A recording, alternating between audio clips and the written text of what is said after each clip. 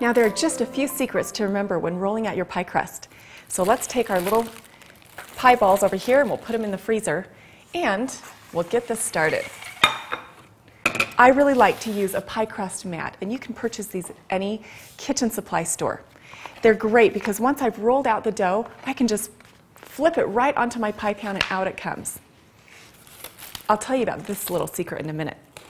Then, a very light rolling pin is also a great idea. This is meant so that you can put in ice cold water in here and it keeps the crust really, really easy to roll out. But if you don't have a rolling pin like this, you can simply flour it really heavily and it'll work just as well. So let's open our little ball and we'll roll this out. I'll take a generous helping of flour. You want to make sure that your dough doesn't stick to the countertop or to your rolling surface.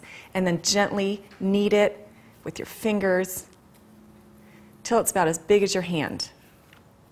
Then flip it over, flour it again, and we're ready to roll it out.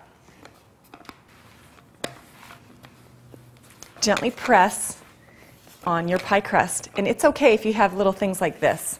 All you do is munch them back together.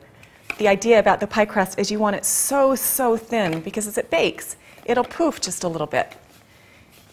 If you need to add a little bit more flour on the top so it doesn't stick to your rolling pin, go ahead and do that. Very, very thin. And it'll be much bigger, probably, than your pie tin or your glass pie dish. I really like to use glass when I make pies. It just turns out wonderful. Nice and thin. I know that it's thin enough when I can see the design of my rolling mat underneath. So I would say just as almost paper thin as you can roll it out without cracking it. Now, the important reason to do the pie crust, to roll it out when it's cold, is it just doesn't tear. It's much better.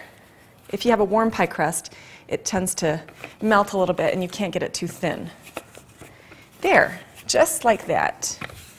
Now, we're going to flip this over into our pie plate, and then we'll trim the pie crust. Now you want to make sure that once you've rolled out your pie crust, it's at least two or three inches bigger than your pie pan because we're going to flute it and it's going to be a lovely pattern.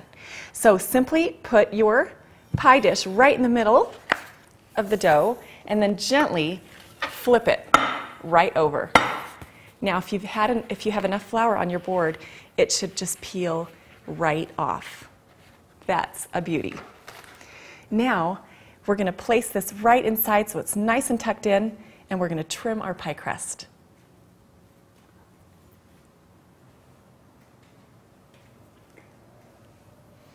Just make sure to, by lifting it a little bit and then tucking it down into the sides, you'll have a lot of overhang, but just make sure it's nicely tucked all the way around. Now, I'll just take a knife and I will cut off anything extra beyond about an inch. So you can see I have an inch overhang and I'm going to let it be all the way around the pie. If you were making a double crusted pie and you wanted to cut out some really pretty leaves, this would be a great way to use your excess pie dough. Sometimes I'll take the excess and I'll cut out leaves, then I'll sprinkle them with cinnamon sugar and put them on top of my pumpkin pie, and it's just beautiful. Now this side, all the way around. You can see this gets a little messy, but it's worth every bit of mess in the end. This turns out flaky and light and delicious. All right.